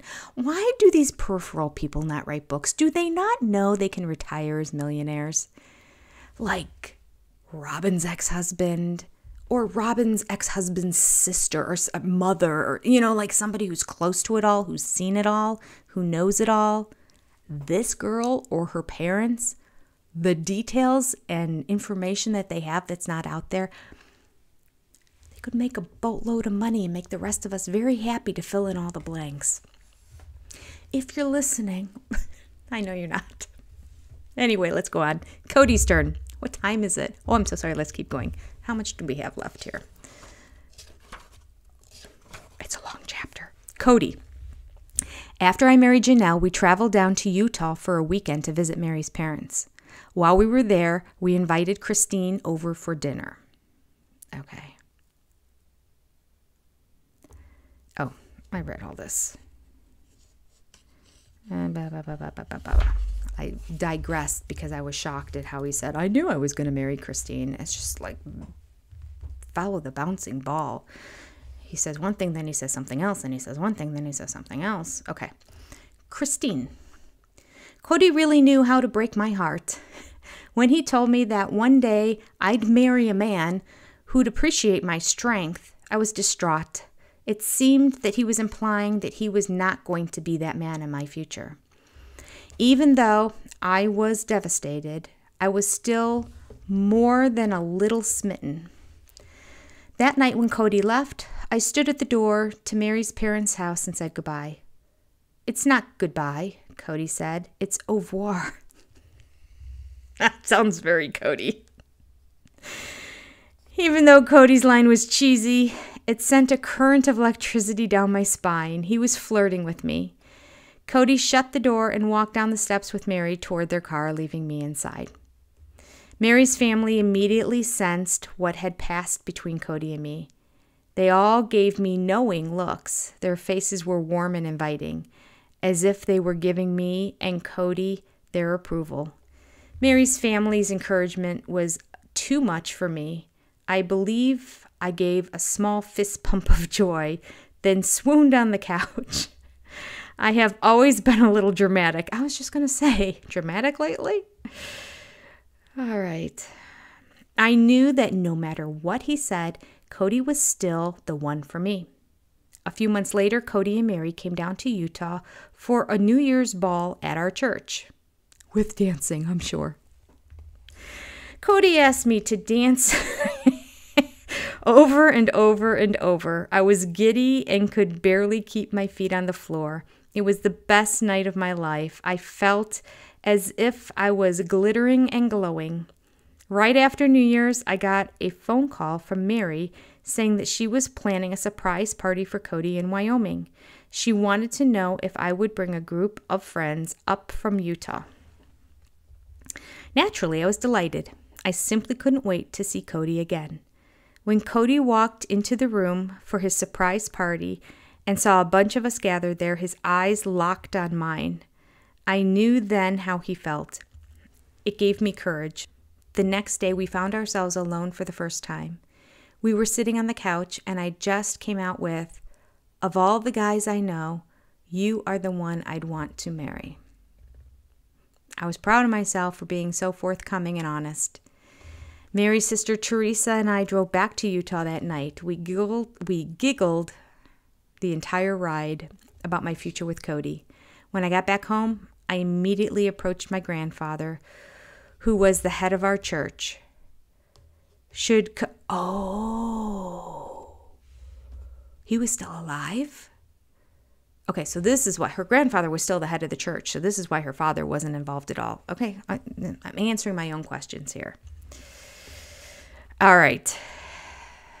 Sorry, godmother. That's funny. Okay.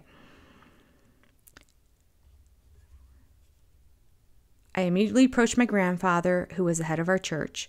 Should Kody Brown ask, I said, tell him the answer is yes. Let him know that I definitely want to be part of his family. Kody writes Christine made it really easy for me to get permission to court her. When I called her dad, he was thrilled. This is great, Kody, this is great, he said. It was exactly what he'd been hoping for. Christine's father was aware of how she glowed when we were together. Okay. He was also aware of how she had pushed all other boys to the sidelines in favor of me. He wanted her to be happy, and now he knew that she made me happy.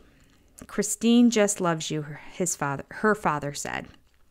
His only question for me was regarding my loyalty to our church. In his mind, this single question determines worthiness. Since the day I converted, my faith had never wavered, not for a single second. I told him that, and he was convinced. On Valentine's Day, I asked Meri's sister Teresa, who lived in Utah near Christine, to buy a bouquet of roses. I instructed her to write, Let's get the ball rolling. What? I mean, did you know that? Let's get the ball rolling. Okay. Teresa offered to deliver the roses to Christine at work. Christine was a title clerk at a car dealership. Oh, interesting. The whole office knew that she that she was from a polygamous family. In fact, they knew that she had a crush on me, a man with two wives. It's a testament to Christine's outgoing nature and wonderful personality that people do not judge her for her beliefs. Huh. That's an interesting comment. If you have an outgoing nature and a wonderful personality, people aren't going to judge you. Yet Kody was so worried about being judged when he came out into public. So I guess he knew he didn't have an outgoing, well, he did have an outgoing nature, but maybe not a wonderful personality. Okay. All right. Let's see here. I'm going to keep reading. I need to bring the bucket out from under my cloak. Yes, please feel free to vomit as I continue to read through the rest of this chapter. It's insane. It turns out that the day I asked Teresa to send Christine flowers, Christine had called in sick to work. Should have been a sign.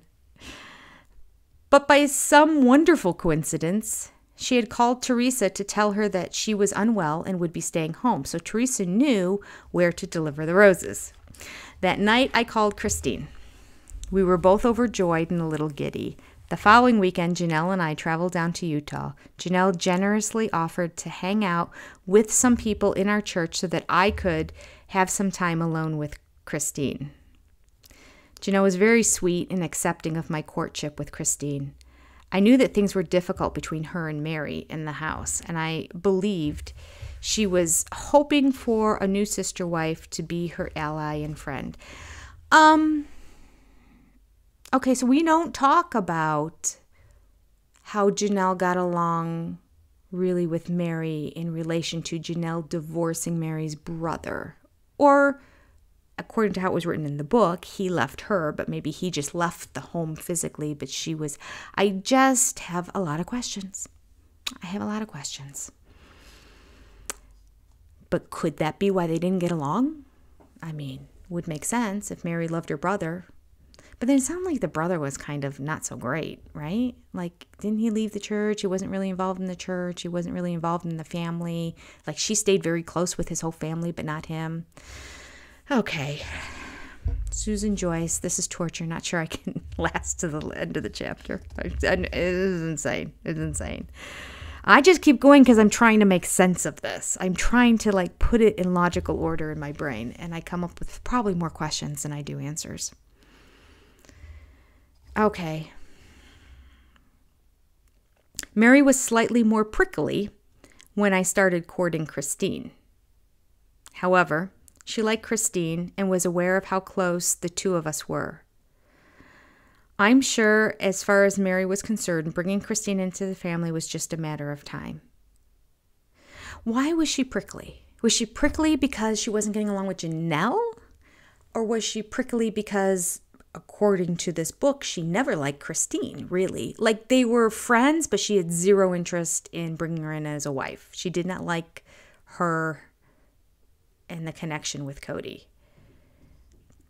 So if she's still prickly, he just went ahead anyway and did it? Well, no wonder the two of them never got along. Okay, Christine and I spent as much time together as possible that weekend. It wasn't what I'd call romantic. Christine was quite puritanical in her view of romance and courtship, but we had fun. Now, like puritanical, what? Like, so she wouldn't like do things in the car with you or something? I mean, like, it, does he mean romance is sexual?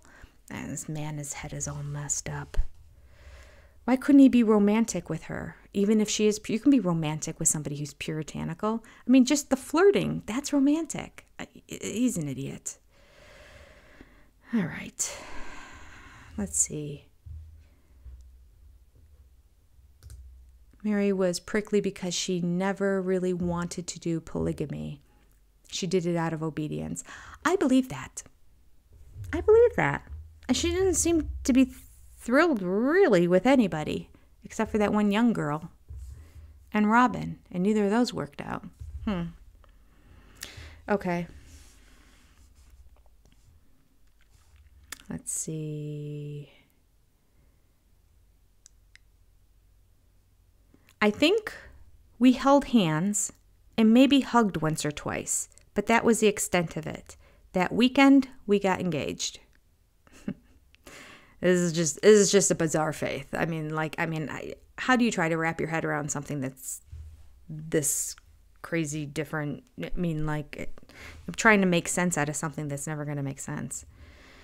I wanted to prolong our engagement, but Christine didn't want to. She insisted on setting a wedding date as quickly as possible. She believed that a long courtship would be inappropriate and unfair on her new sister wives. She didn't want to be running around with a married man. I tried telling her that I wasn't quite ready. Then why did you propose? Why are we not just. I, I don't understand. He it's like I feel like Kody plays more games than women do. You know? There have been so many situations where he's like, I felt like this, but then I did this, but then I felt like this, but then I did this, and then I did this, but I felt like this. Like everything is, it's a game. He's playing, like, he's very much like high school girl play games with the boys mentality. Okay, I'm going on. Sorry, I'll get off my pedestal. All right. Um, let's see. Try stop trying to make sense out of it. You're right. You're right. Right. It'll drive you crazy. I have to think this way at my day job. Nothing makes sense for the last four years there, and I drove myself nuts. Yeah, I told you last time I was reading. I'm reading a book called uh, Unoffendable, and it says the same thing. When somebody shocks you with something, why are you shocked if they've been doing this kind of behavior their whole life? Like if he's been, we've seen that he's Uh, I don't know if loser's the right word. like he's inconsistent, he makes no sense. He's all over the place. And so why am I surprised? Okay. Christine felt that she'd already waited so long because we had been friends for three years. We decided to get married in six weeks. Whoa, that's fast. Okay. The minute I asked Christine to marry me, you know what, Christine, I blame you for this. If your fiance has got cold feet, you don't rush into a marriage. You let him work through it because it's not going to work out well in the end. As we saw. The minute I asked Christine to marry me, I realized that I had once again acted too quickly. I was in over my head. I was not even 25. I already had two wives, and Janelle was expecting our first child. The thought of trying to bring Christine into our family gave me serious pause. I'm afraid I showed up at our wedding with what Christine calls a thousand yard stare. Mm, how sad. Suddenly, I felt the weight of the world on my shoulders. I was nervous and apprehensive. I knew there was a lot about my life that Christine didn't understand. She had only ever seen me as the life of the party and the good time guy. good time guy. so say you. Okay. She didn't know how tense things were between Meri and Janelle. why didn't you tell her? My gosh, the communication in this family is insane, non existent. Oh boy, she didn't know these two aren't getting along, but I'm marrying her anyway and bringing her in. We're not going to tell her about it. Okay. I'm going to open the door. I think my husband my husband is normally he goes to sleep really early because he's a school teacher at high school and he rides a bike and it takes him an hour to ride to work every day. So he's like out of the house by 5:30 in the morning. But it's spring break. So I kept the door closed cuz I knew they could play with him, but I hear a lot of commotion out there. So just give me 1 second to crack the door open.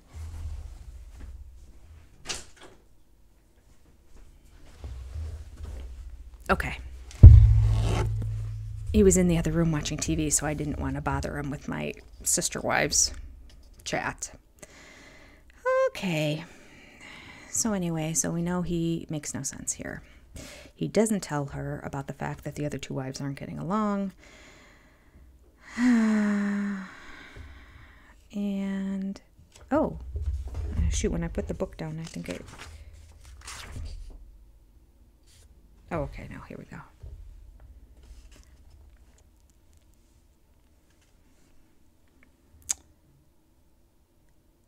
Uh, she didn't know how tense things were with Meri and Janelle, and hadn't had much opportunity to get to know them herself.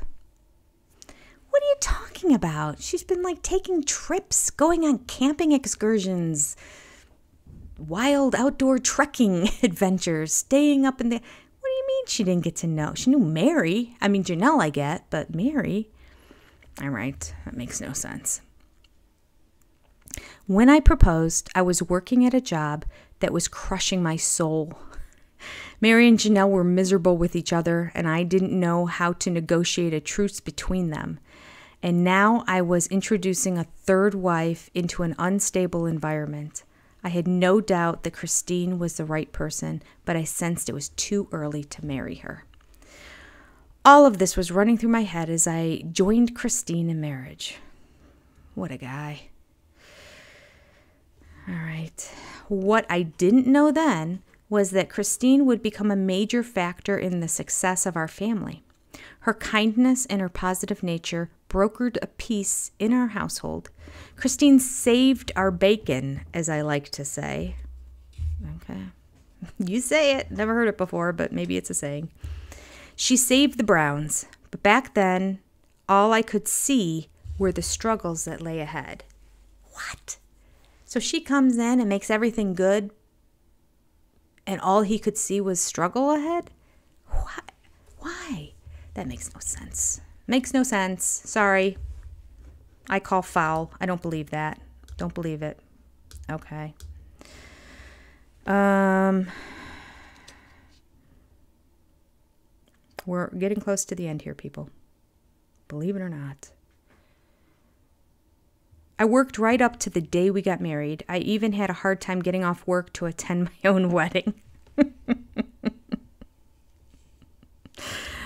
yeah, I don't think there's any employer in the world that would not give you your wedding day off work. Come on. Christine had to organize the whole wedding herself. Neither my father nor Christine's mother attended the ceremony. It was a hard day for us. I didn't have time to plan a honeymoon. In fact, didn't even occur to me to plan one. we have no talk about Janelle's honeymoon, do we? Or did we? Yeah, no, yeah, it was a road trip. Yeah, yeah, yeah.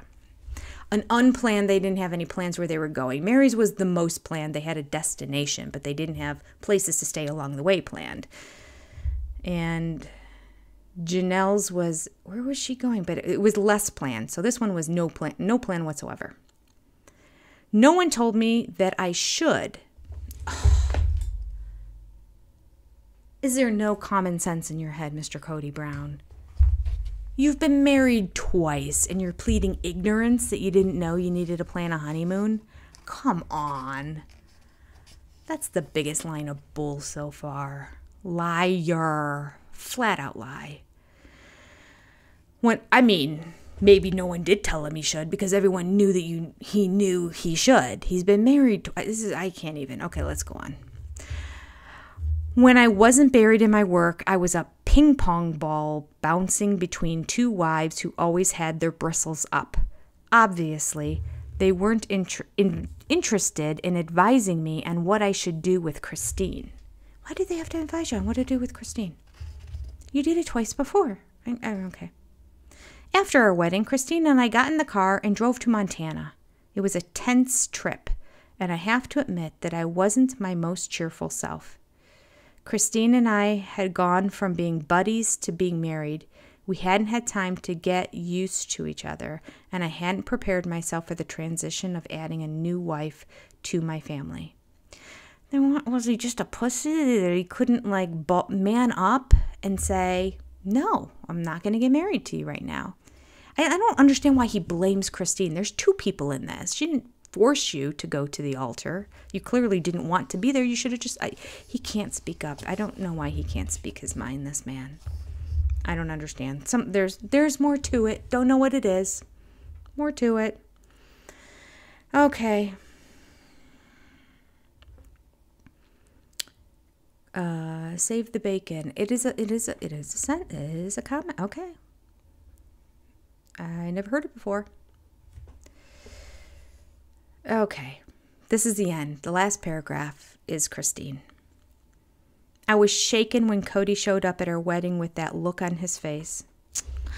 Oh, this is going to get really sad. I mean, it's kind of already sad, but now mm, it's her wedding day. He was morose. I was even more devastated when I learned that he hadn't planned a honeymoon. I, I, I mean, why didn't Christine plan a honeymoon? I would never in a million years expect my husband to plan the honeymoon. I'm sorry. Or any vacation. I don't know that that's completely on Kody. Uh, unless that's a cultural thing. But it can't be a cultural thing because he had two weddings before. He didn't really plan honeymoons for them either. But I, okay, I don't know. I don't know. Let's go on. So many questions. So many questions. I was hoping that we'd finally have a romantic getaway, something special that told me how thrilled he was to have me in the family. I was young and naive. I had no idea how to tell Kody what I wanted from him. If I suddenly turn around and scream, don't be alarmed. I can hear my cats and they're starting to scratch that couch behind me, which they're not allowed to do. But it stopped. So if it happens again, I'm going to clap my hands and say, no. okay. I'm warning you in advance. I'll be turned around so it won't be loud. Okay. Just so you think I'm not like having a seizure or something. I'm fine. Hopefully it won't happen. They'll be good. Cosette, Chubs, be good. Mm-hmm. Mm-hmm. Okay.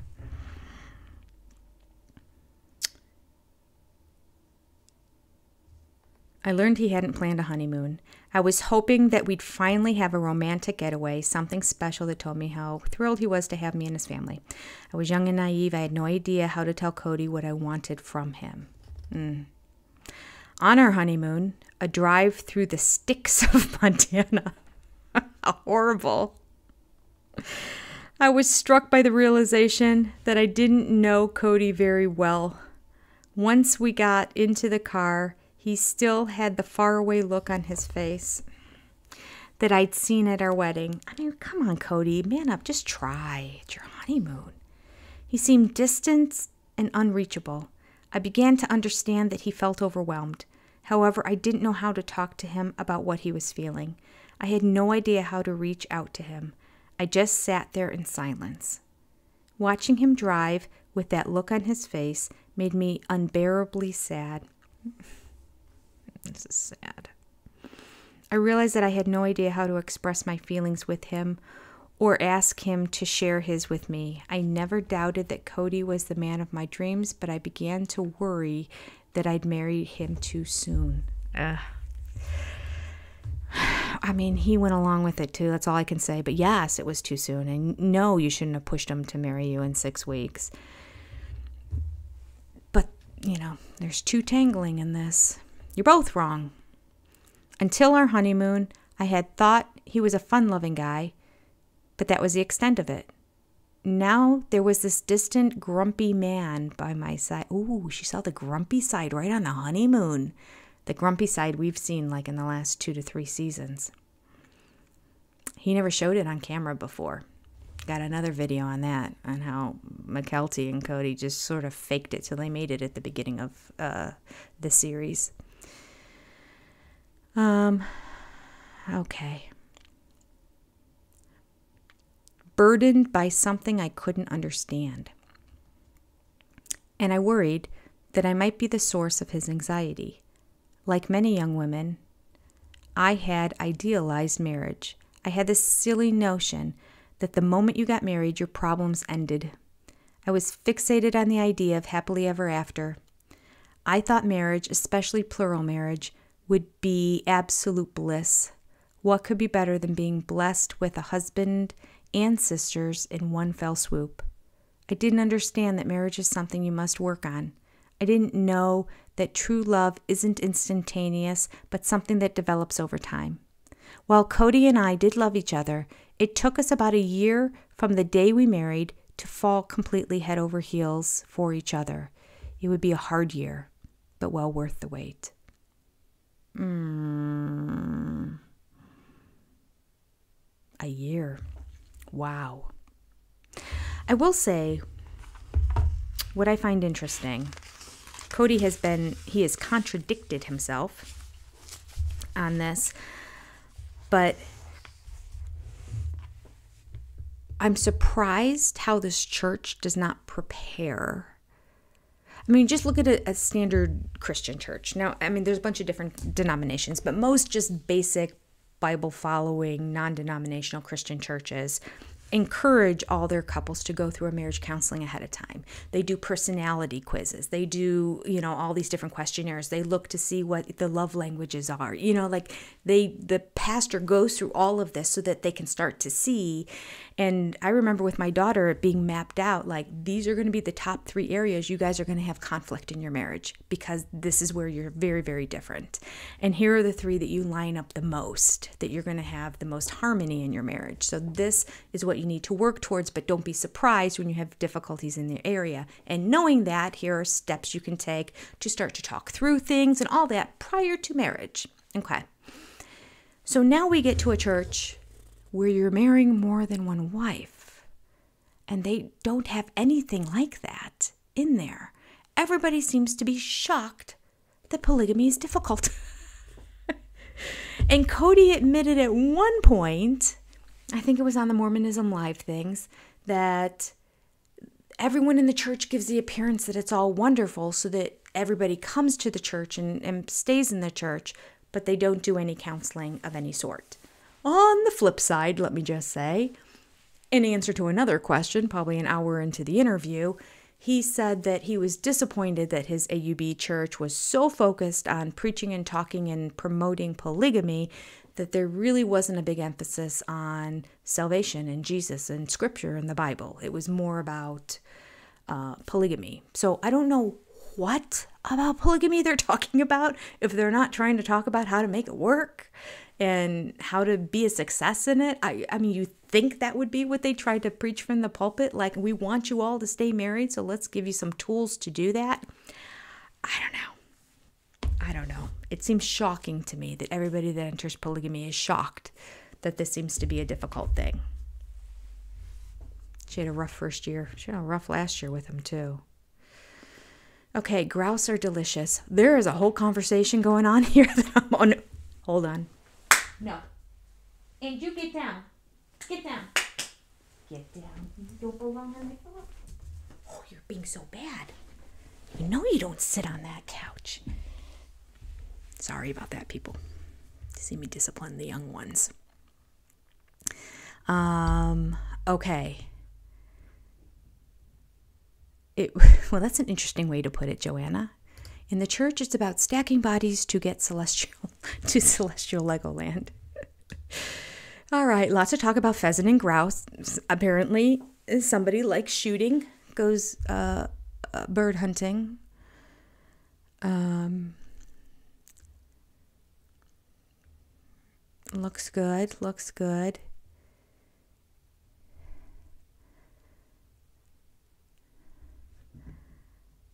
Yeah, she sounds naive.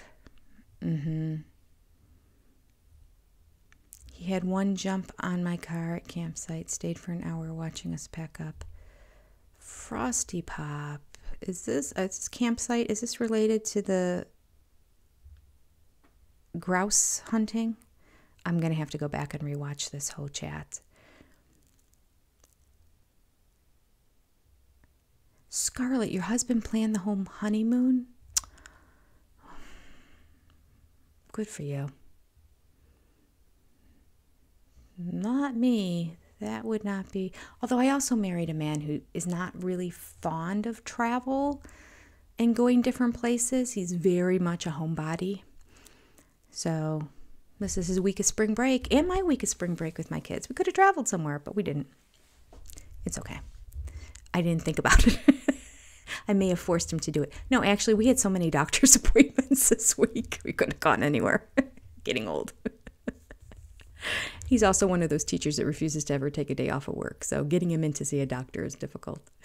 All right. All right. I think I'm pretty much caught up, but I'm going to go back and reread everything and figure out why we're talking about um, pheasants and grouse. All right. More talk about the. This is. You guys are making me. I drove all around with my mom looking for a prom gown being a on the grill my car. Oh, so funny. No to the cats. That's right, Purple. Purple, hello. I haven't seen you in here. That's the first time I saw your name. Um, yeah, they they scampered off. They took me seriously. Must have had a, a very serious voice. They know better. They do it because I'm facing this way. They're just like children. All right, that's it for today. We will be back next Thursday again at 8 p.m. I'm trying to think if there's any other real updates. I don't think there are. So I'll try to get a video or two out in between then. Highly recommend again. Go to real. Hey, do me a favor. Even if you don't watch Seeking Sister Wives, just go to Reality TV Breakdown and just subscribe. Watch something while you're cooking or whatever. Just sort of helps the channel. I'd love to eventually get the channel to be monetized. Um, I have this. I have the subscriber number. Actually, I don't even need subscribers per se. I just need view, I need hours of watch time on it. So go check it out. You might be interested in uh, some of that. I think, honest to God, if you're here this long in this chat and you made it to the very end, y'all are going to like Seeking Sister Wives. You are. You are. 100%. This was fun, Mama Squirrel. Um, Sherry for Canada, you are welcome. Very good. It's your bedtime, Mace Chill. Mine too. It's past my bedtime, really. Hey, I do have a quick question. You throw pillows at your cats. I do sometimes too, but the pillows are all over there. By the time I go to get the pillow, the cat's gone because it thinks I'm going to be like clapping in a, in their face. Um, do we want to bump this up to seven o'clock or do we want to leave it at eight o'clock? This is Eastern Standard Time. So, is this a good time when we start it or should we start starting it an hour earlier? Because I do know some people it gets late at all the East Coasters and they have to dip out a little bit early. But then I also worry about the West Coasters not being able to start an hour earlier because of work or whatnot. So, um, leave a comment in the description below. You can keep leaving it in the chat. I think it still continues to go even after I um, log off for a little bit. I don't know why. I don't know what, when it officially stops. But um, if you don't get a chance to leave a comment, when you see it posted, which it'll get posted in like 24 hours, leave it in the comment and let me know if this is a good time, if you like this 8 p.m. Eastern Standard Time, or if you want to bump it up and start at 7 p.m. Um, Eastern Standard Time so it would end at 9 instead of 10. Okay? All right. Love to chat. Thank you, Scarlett. I'm glad to have you in here too. You're always delightful. Thank you to all. We're going to stop streaming and I will see you for our Cloak of Charity, Chapter 4 book club next Thursday night at, we'll see what time. I'll start taking a consensus. Maybe I'll even do a poll in my community tab. Um, but we'll see you next Thursday night. Bye to everybody.